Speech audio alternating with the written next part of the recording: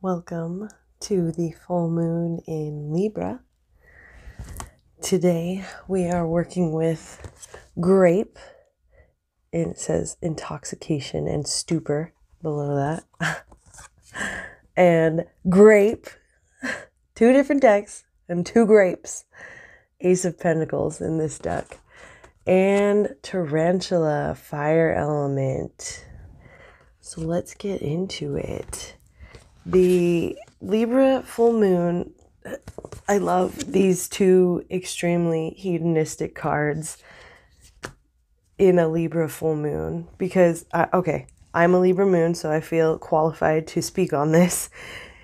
There is this tendency similar to a Pisces where you can really get behind the finer things or the the finer things to you like what what makes you feel good what's bringing you joy in this life. You're willing to at times dive into it perhaps excessively. Don't get offended. But there this is just a beautiful amalgamation of so many aspects of the Libra archetype and a full moon being this time of grandeur and shining a light on your subconscious, like really seeing what's going on inside of yourself. How are you reacting to the world? How are you reacting to your own internal things going on? And question is hedonism involved? Is excessive feel good things are they involved? And also, how can you be okay with that?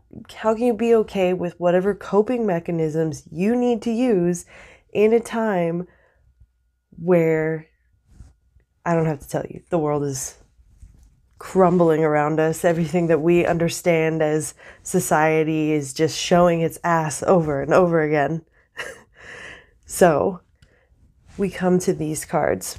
So, first, let's talk about this one because it's a deep purple.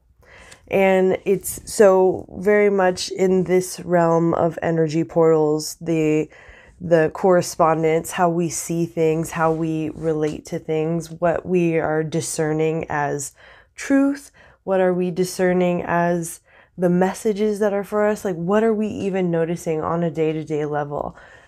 That this we have to take ability, accountability for our correspondence with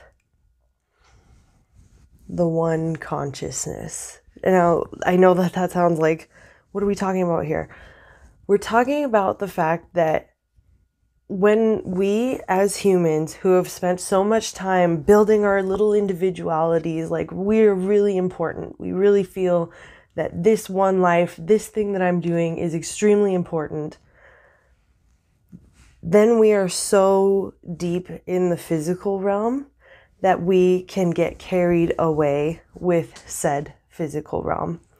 And everything in life is about balance. And if we are not being balanced and we're just taking in what we need to cope with a strange and intense and often painful reality, it can turn to intoxication and stupor. we can lose our connection to the bigger picture, the spiritual, the one consciousness, the whatever you want to call it. Really, names are just subjective points for you to understand from your storyline what this larger thing is. If we can't find balance between connecting and staying grounded, then we will be intoxicated. We will be lost. We will be wayward. We will not feel aligned to our purpose and to what ultimately is just driving us to experience whatever we're supposed to experience in this life. And I'm not trying to put any good or bad onto anybody's experience because that too is subjective. Like, based on what's going on in your ecosystem and what's going on around you. And we can't control so many of these things. We are consistently inundated with the knowledge of how fucked up everything is around the world because media sells us all of the harshest stories. And I'm not saying that those stories aren't true because obviously they are. Obviously, we have video evidence. And also, we're not able to affect any kind of real positive change if we're so caught up in how overwhelming all of this is and coping with it in any number of ways that are taking us out of being grounded in our physical self. And this Ace of Pentacles, and it's a coin with Dionysus on it. Dionysus. And um, so we we're giving this energy of madness. Like we we are surrounded by the madness by the dissolution of everything and how incredibly uncomfortable that is. And again we have this particular plant that can be turned into raisins and it can be this like nutritious thing that we can save and and keep and keep us going over long periods of time. We can turn it into wine we can turn it into alcohol and all of these things are doing something for us and it has done something for humans for maybe thousands of years. And so we have this opportunity to understand what it is that we're using as coping mechanisms and to not beat ourselves up about it. Like, this is all a part of the experiential process of being a human. Like, allow yourself whatever it is that you need to experience in this time and also be aware of what you're building. Be aware of how you're grounding yourself because the ace of pentacles. I think of when i think of aces i always think of um, the epiphany. Like when you when you begin when the seed sprouts it's the epiphany of existence. It's the possibility of anything. Anything could happen to this little plant. Anything could happen to this little idea. Anything could happen to this creative project. Anything could happen. It's a little baby. You're ushering it into the world.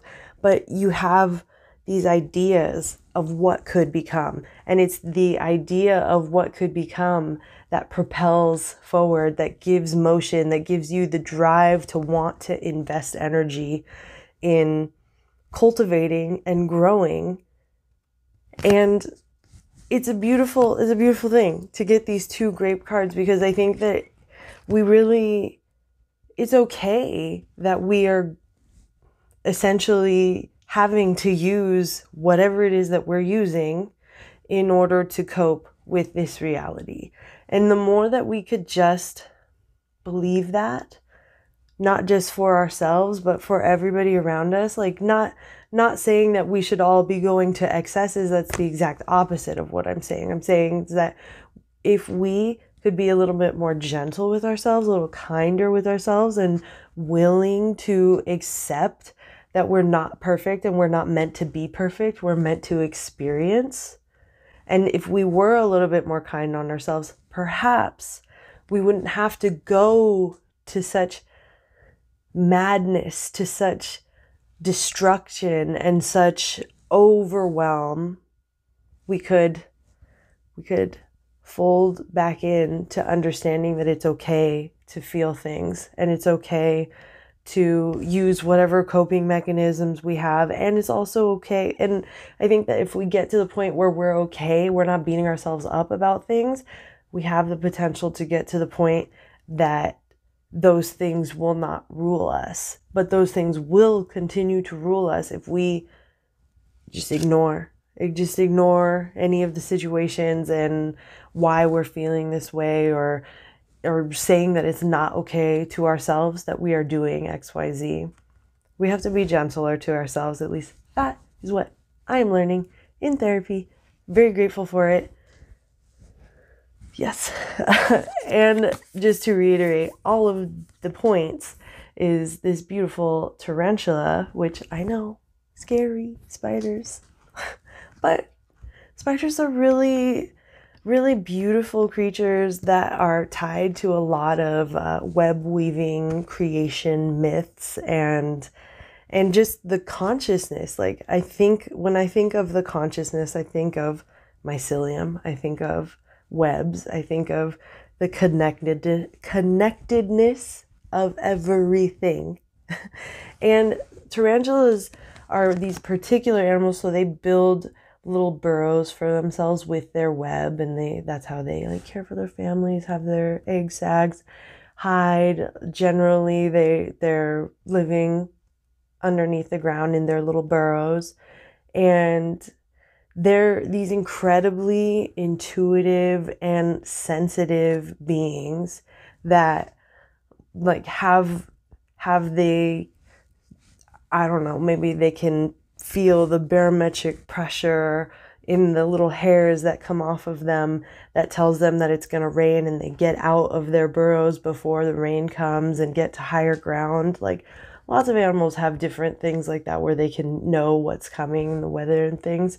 And i think that we have the ability to tap into that energy.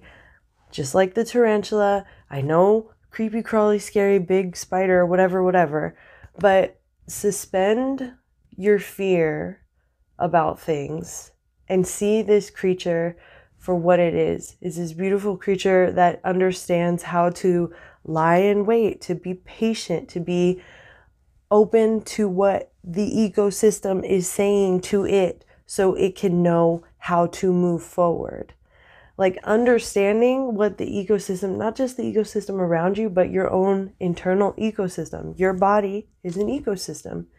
And you have an opportunity at any given moment, even though it's hard because we have so many distractions, so many things that we can be putting our energy into.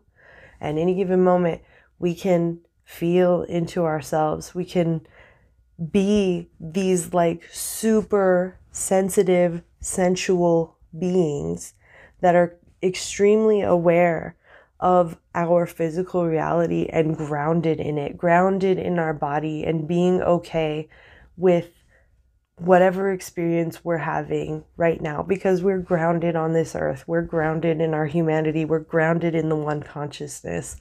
We're grounded in this story that we're sharing together and the experiences that we're putting together. And it's just all of these cards are really just giving us this opportunity like really see what's going see yourself see what's going on in your life see what's going on in your body.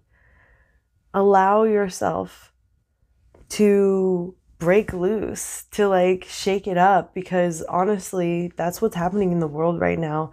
We don't really have the luxury of not shaking it up because I think if we choose to not shake things up, the world is like, well, we'll shake it up for you in one way or another. Saying a lot of shaking stuff in the earthquake state. I gotta chill. but it might be coming. Nonetheless, grape, hedonism, enjoyment, like breaking free, understanding our cultivation, our ability to cultivate our reality, and that that reality requires a very delicate balance between being grounded and being open to the one consciousness. It's a it's a torus. Think of yourself as an energy being and the energy is moving through you out up down circular motion all the way around torus. And that's what we are. We are all our own little energetic turbines existing in this world. And whether or not we're like fully functional is predicated on how much you are paying attention to that movement of energy. And there's so many different ways that you can do that, but like just think of it right now in this moment, in this Libra beautiful, like we're all we're all focusing on the the energy and the justice and the aesthetic and the beauty and the hedonism. and we're and we're going to just bring that energy. Like bring that energy down into grounded. Like what what can you release over these next 2 weeks of this like waning moon? What are you ready? What are you seeing? And what are you ready to let go of? What are you ready to be okay with? Maybe you don't have to even let it go. Maybe you could just choose to be okay with it. And with that energy, hopefully, if you could just be okay with it, you could be okay with yourself. You be okay with yourself. Everything is slightly easier when you can just be okay with yourself. And I want that for all of us so that we can make it through whatever is on its way. It doesn't matter. We can't control what is going to happen to us. We can't know what is going to happen to us. All we can do is find some amount of comfort in the fact that we could be so grounded and we could be so connected that we could be ready and willing and able to know to to to know that we can feel a situation and we can feel if something is is if the barometric pressure is going off and the rain is about to fall perhaps we can protect ourselves by becoming more aware perhaps we can move this ball forward instead of being so stuck in falling apart all the time that we can't get grounded in this physical reality. I believe in us. So, blessings to you all, and I'll catch you next time.